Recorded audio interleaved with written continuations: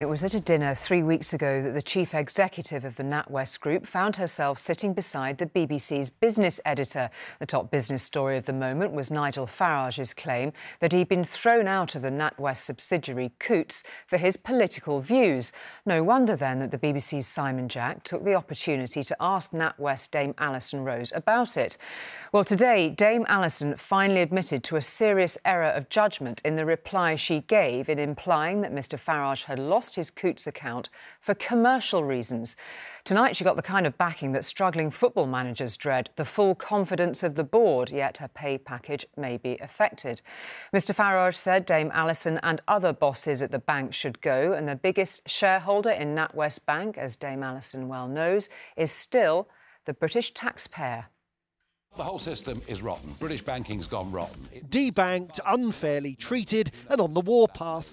NatWest and the BBC have apologised to Nigel Farage, but on his show on GB News tonight, he insisted he still has questions he wants answered. Somebody is lying. In a moment, I'll tell you who I think it is. Coutts is a private bank for the very wealthy and is owned by the NatWest Group. Three weeks ago, the BBC reported that Coutts had shut Nigel Farage's accounts because he no longer met its financial requirements and that the decision was commercial. Nigel Farage fought back, insisting the motivation was political. He obtained an internal report which showed his political views were a consideration. Yesterday, the BBC accepted its report was inaccurate and apologised, but its business editor tweeted the story had come from a trusted and senior source. Today, that source revealed themselves. Alison Rose, Chief Executive of the NatWest Group.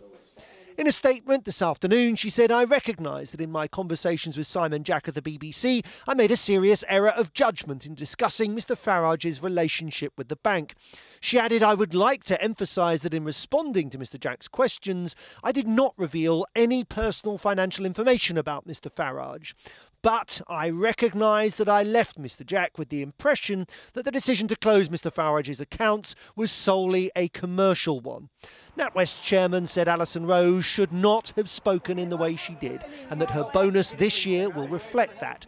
But Howard Davies described her as an outstanding leader and said the board had full confidence in her. Tonight, though, there are already calls for her to go you should think about standing down. Uh, I mean, you know, it's the only honourable thing to do, given the breach of confidence that she is. Uh, I'm, I'm willing to believe it was a mistake, but it was a very bad mistake. And you know, one of her subordinates uh, did it. She'd sack them, I would think, and she must apply the same rules to herself. That's a sentiment this man supports. After his show, Nigel Farage called on the government, NatWest's biggest shareholder, to intervene. It erodes confidence in London as a business banking centre. We, the taxpayer, our taxes went up to bail these so and so's out. Uh, and on Friday morning, we're going to get the six month uh, profits. There's also going to be a presentation to investors, and I hope the British government say no confidence. Sometimes sorry brings closure. But as far as Nigel Farage is concerned, this isn't over yet.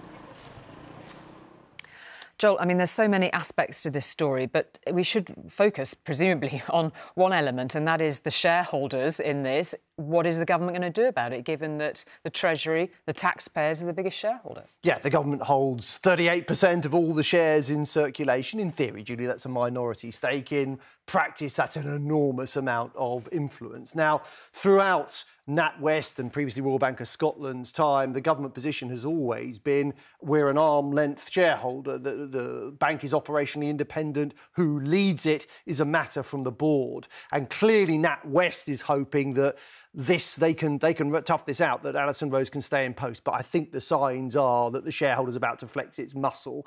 Andrew Griffiths, we know, has summoned bank bosses. Alison Rose will be meeting him, uh, um, working at the Treasury, and government sources tonight have told ITV News explicitly that the Prime Minister and the Chancellor are not or have significant concerns about Alison Rose remaining in post. I think the writing's on the wall here.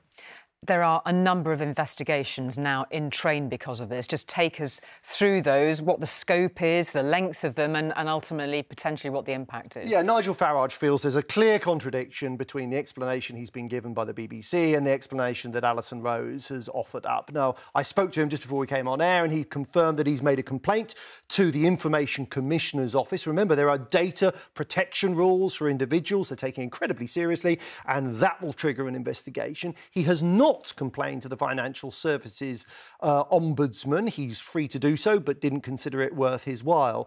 I think of greatest importance, NatWest itself has launched an independent investigation, which has been welcomed, note, by the Financial Conduct Authority tonight.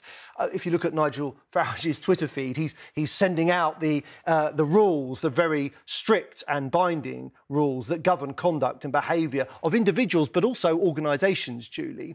And it has welcomed this independent independent investigation. It does have enforcement investigatory powers. Depending on what the investigation pulls up, it may well decide to pursue them. And if it deems that these rules around integrity, skill, care, diligence, uh, treating customers fairly, proper standards of market conduct have been breached in some way, shape, or form. It can fine individuals or organisations. It can also ban them. OK, it's got a long way to go yet. Thank you very much indeed for all the detail on that, Joel. Thank you.